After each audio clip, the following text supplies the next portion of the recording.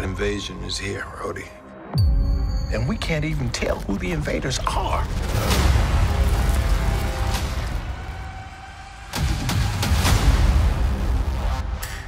Fury, why haven't you called any of your special friends? This war is one I have to fight. Living on the edge to the end of our lives. Roof in the sheepskin telling me lies. Alone. This world is burning, and it was you who lit the match. Tick tock, Nick. This is personal. You're the most wanted man on the planet. Well, Mama always said I was special. Marvel Studios' Secret Invasion, only on Disney Plus. Welcome back, everyone. It's Charlie. Marvel just dropped a brand new Secret Invasion trailer. There's a bunch of Avengers references, so we'll break it all down. And I'll explain what's happening with the Avengers right now because some of them are still alive, and we'll get the new Avengers by Captain America 4. Like, the whole idea is that during Captain America 4, they're going to preview what that new Avengers team is going to look like by the time we get to Avengers 5 Kang Dynasty, but they'll be adding members by the time they get to Kang Dynasty. If you're brand new to the channel, be sure to subscribe to get all the videos. Of course, I'll do episode videos when it starts in the next month. They start the new footage with Nick Fury, the real Nick Fury, coming to talk to Rhodey to reveal that there is a secret invasion happening. There's a group of Skrulls impersonating world leaders. They need to stop them. And the interesting thing here is that it doesn't seem like Rhodey wants to believe him immediately.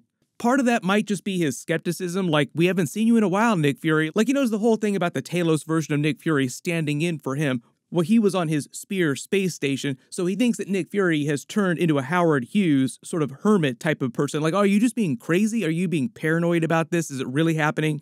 And if it wasn't clear, by the events of Secret Invasion, Rhodey has basically taken Thunderbolt Ross's former job and become the Secretary of State. He's meant to be like the right hand man to the current US president.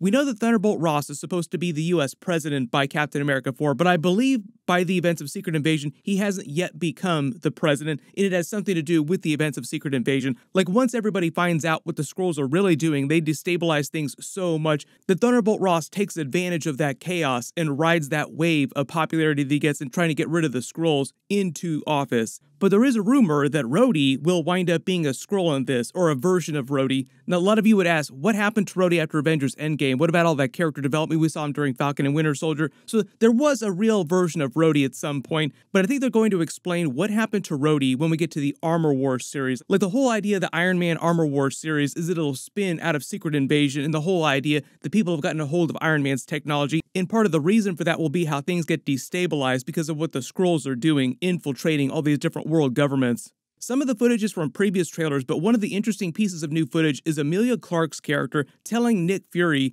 that it was his fault that Secret Invasion is happening, like it's your fault that all these Skrulls are trying to take over. And what she's actually talking about is that back in the 90s, when they had the original Skrull event with Captain Marvel and the Kree, he agreed to find them a new place to live, like this group of Skrulls that had been held captive. Emilia Clarke is playing Talos' daughter. She's in the Captain Marvel movie. She's this little girl. She's just older now. These younger Skrulls have evolved new powers too. That'll play into the whole Avengers of it all. I'll talk about that in a second. But since the 90s, Nick Fury asked them to lay low, like, please just keep yourselves quiet. Don't let the world know that you exist, and I will find you a new place to live. But he hasn't made good on that, mostly because of the events of Avengers Infinity War, Avengers Endgame, everything that happened with Thanos and the Avengers along those years. He's been a little busy, and since Avengers Endgame, they explained that he's been hiding out on his space station because he's just been so broken, like he's so weak compared to what he was like in the original Avengers movies. Like he used to be this person in a really big position of power, pushing people around the board like chess pieces. And what they're doing is that even though they're doing things out of order, they're trying to follow the comic book progression of these big crossover events. So, Secret Invasion, everybody remembers from the comics, it was a big Avengers, X Men crossover event. The entire Marvel line, like all the biggest characters you can imagine. Who is a Skrull? Who do you trust? What ended up happening is in the Marvel Comics version of Civil War, they adapted that loosely for the Captain America Civil War movie. It destabilized the planet so much that's when Princess Veranke of the Skrulls decided to pull off their comic book version of Secret Invasion just because the Earth was so weak and ripe for takeover. The way they're adapting that progression in the MCU is that it was Avengers Endgame. Like the events of Avengers Infinity War and Avengers Endgame destabilized the planet so much that it just left it ripe for takeover from this evil group of Skrulls. Gravik here is meant to be the leader of this evil faction of Skrulls from Talos's good group of Skrulls that have just gotten tired of waiting for Nick Fury to find them a place to live. So they're like, okay, fine, we'll take the Earth for ourselves then. And in scenes like this, where you see Emilia Clarke's character looking at all these bodies, it seems like these are the important world leaders that the Skrulls have started to impersonate. They're still alive, they're just being held in stasis. So when Emilia Clarke is telling Nick Fury, this is your fault, technically it's his fault, but there's a lot of other things that were happening at the same time. Like he didn't have control over what was happening with Thanos in Avengers Endgame. And when they asked Nick Fury, why can't you call on your special friends to help you deal with this? Like the Avengers are super powerful, they could kill all the Skrulls pretty easily. There are a couple reasons for that. One of the reasons is because of the Secret Invasion comic book reason, because these Skrulls, these younger ones, like the younger generation, have evolved to mimic powers. Like you can see them using different types of powers that Talos' older Skrulls can't do. Part of what Nick Fury is worried about is that they could also impersonate the other Avengers pretty easily. When Nick Fury says he has to deal with this alone, part of the reason is that he's afraid that they could just mimic the other Avengers like they did in the comic book Secret Invasion.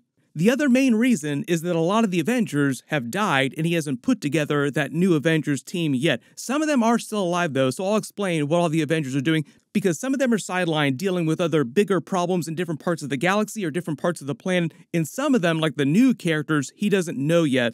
Iron Man died during Avengers Endgame, and as far as we've seen, Nick Fury hasn't let on knowing anything about him backing up his consciousness as an artificial intelligence like Jarvis or Friday, so Iron Man can't help.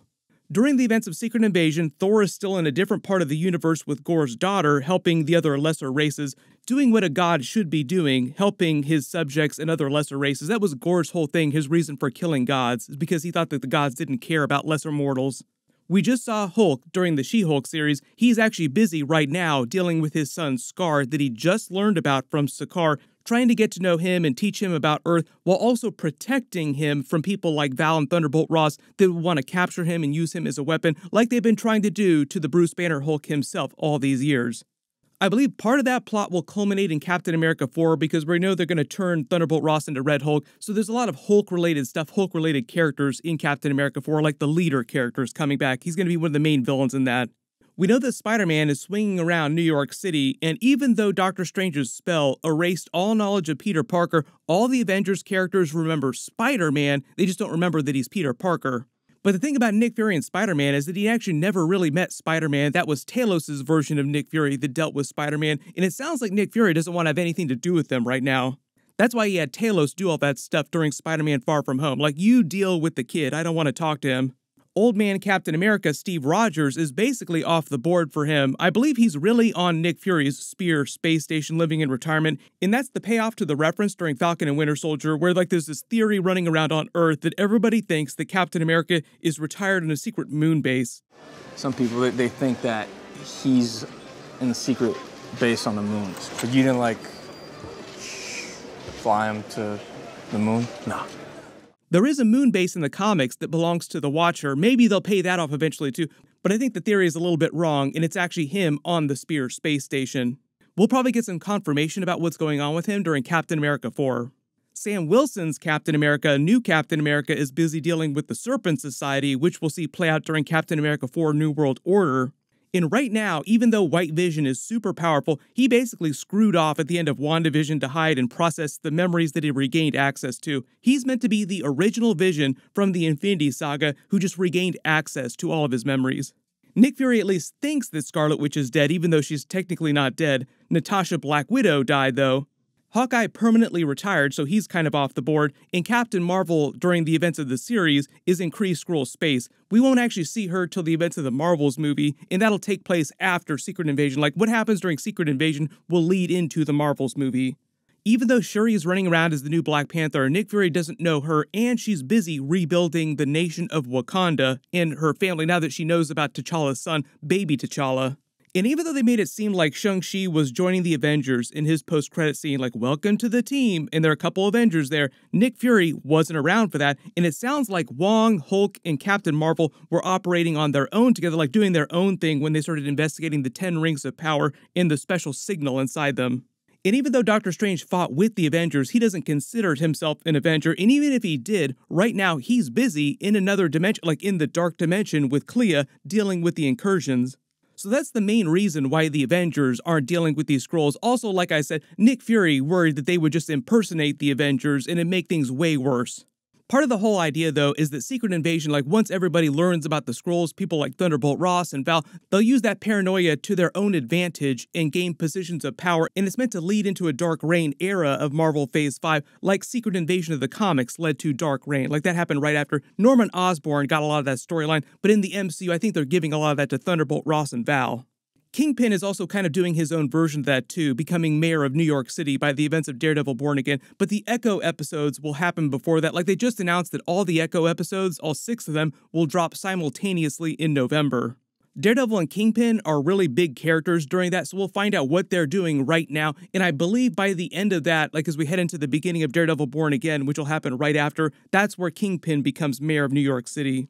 But the whole idea, the whole vibe with Dark Reign and Marvel Phase 5 is villains taking positions of power, and how do the heroes, like how do the Avengers characters deal with that? There'll be a bunch more Secret Invasion trailers in the next couple of weeks. Of course, I'll do more videos as we get more footage, but leave all your theories in the comments below. And if you have any special requests for videos, just write them in the comments as well. Everyone click here for my breakdown of the new Captain America 4 footage and brand new scenes, and click here for my new Deadpool 3 teaser video. Thank you so much for watching. Everyone stay safe, and I'll see you guys in the next one.